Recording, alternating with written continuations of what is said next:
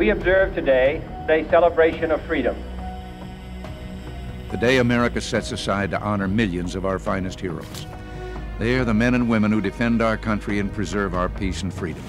Each time our nation has called upon our citizens to serve, the best have come forward. Where do we get such brave young Americans? We can and should take the opportunity on this Veterans Day to remember their gift to us.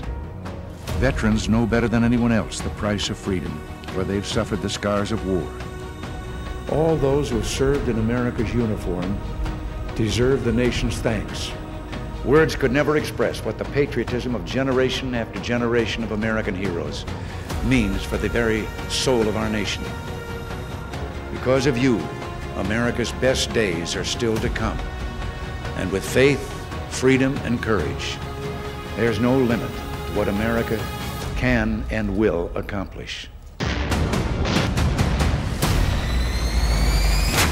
The graves of young Americans who answered the call to service around the globe.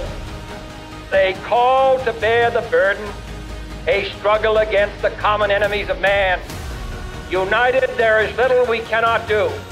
Let every nation know, whether it wishes us well or ill, that we shall pay any price, bear any burden, meet any hardship, support any friend, oppose any foe to assure the survival and the success of liberty.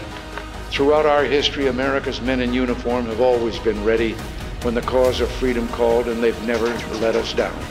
Our most recent heroes those still serving carried on with the same dedication and valor as their colleagues before them.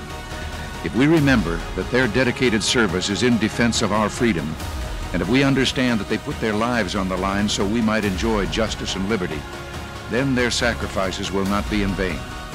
This is our obligation, and this has been the spirit of Veterans Day from the beginning. In the long history of the world, only a few generations have been granted the role of defending freedom in its hour of maximum danger. Ask not what your country can do for you. Ask what you can do for your country. country.